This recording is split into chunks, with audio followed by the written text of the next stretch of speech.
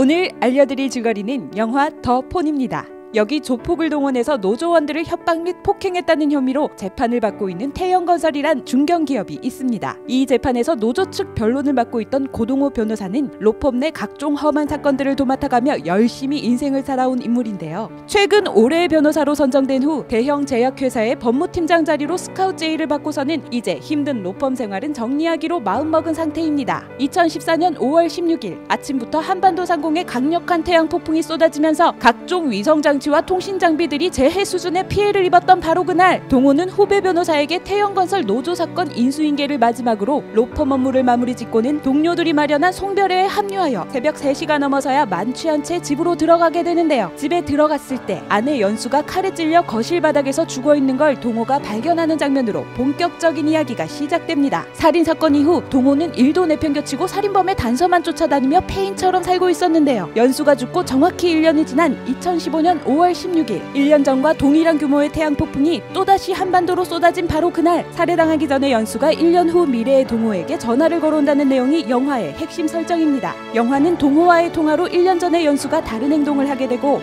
그로 인해 1년 후의 세상이 동호의 눈앞에서 실시간으로 변하게 된다는 time paradox 설정을 통해 관객의 몰입감과 긴장감을 마지막까지 효과적으로 유지시켜 나가는데요. 가족을 상실한 중년 남자의 연기를 대한민국에서 가장 잘하는 배우 손현주가 자신의 전공 실력을 여실히 보여주는 스릴러 영화 더 폰은 2015년 10월 22일에 개봉했습니다.